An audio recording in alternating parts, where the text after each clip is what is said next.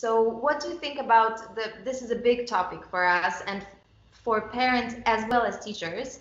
The practice, the regular routine of practice, the motivation, how to motivate our children, our students uh, to practice regularly. This is a really significant issue. It has always been an issue in music study.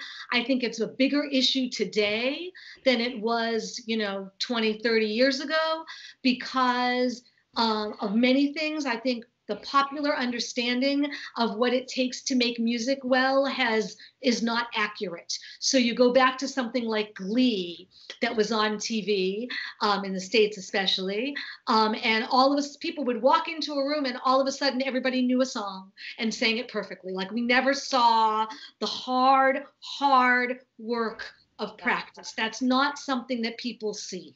So they don't understand that it takes it is not an immediate gratification endeavor. It takes regular steady practice. There are setbacks. It is hard. It is and it's the discipline of doing it every day or nearly every day that makes you better. You can't cram it at the last minute. You have to work on it regularly. And this is something that i think a lot of people today understand even less than they did 20, 30 years ago because of popular culture. So I think regular practice is super important. I think there are ways to structure goals for regular practice so that it's less overwhelming. So ideally, we might want a student to practice, let's say, for 30 minutes every day.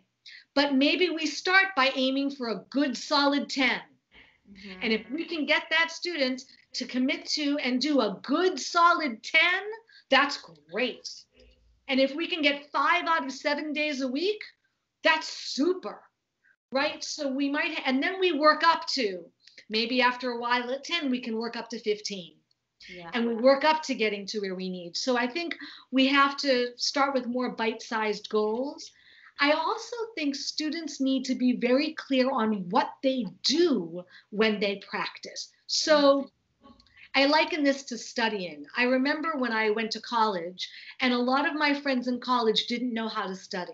No one mm-hmm. ever taught them how to study. They would just have the book open, look at a couple of pages, say, okay, I'm done, I studied. And then they would take the exam and not do well because they didn't know how to study. It's similar with practicing. It's not just putting the piece up and playing it once through. That's not practicing, right? We know this. Practicing involves isolating challenging sections, slowing way down, yeah. separating hands if you have a multi hand instrument, practicing each part individually, bringing them together, right? All of these things. It might be focusing on a particular phrase and then adding a little bit on either side to see if you can do it in context. It might be making a mistake that you think you're likely to make and seeing what you do afterwards. There's, uh, you know, it might be practicing with a recording or a metronome or not. There's so many different ways that we manipulate the music and manipulate the experience that a lot of people don't know. So I think we need to teach our students what practicing is. Mm-hmm. So that actually, and their parents, so that they can support it, right? This is so when I say I want you to practice this piece, I want first, I want you to do this, then I want and like literally get that process clear and and also spend lesson time on it. Yeah, so yeah. together we're going to walk through practicing this piece. So then you'll know when you go home that's what you and so literally go through it so yeah, that the student knows. Use recordings, right? So record that session. Use checklists and other written tools. I remember my piano teacher just used to write the names of the pieces I was supposed to work on and every now and then she'd write a little note like watch out for you know the staccato in measure eight. But she didn't tell me how to practice. I think we need to make a checklist of first you do this then you do this and be very explicit about it. I also think when we can make practicing feel more like a game and more like something fun and less like a chore that can help. And there are ways we can do that. We can incorporate um, contests and challenges into the practice. So I'm going to ask you to work on this section, and your challenge is these four measures.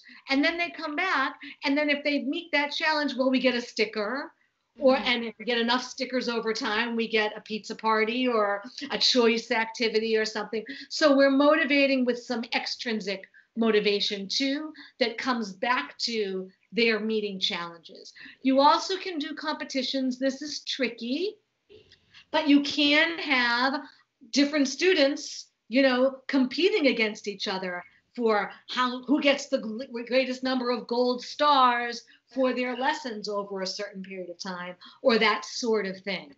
Mm-hmm. Um, we have to be careful with the competition. We yeah. don't want to turn music only into that. Yeah, definitely. So spice it up every now and then. It can be fun, but yeah. we don't want it to be only that.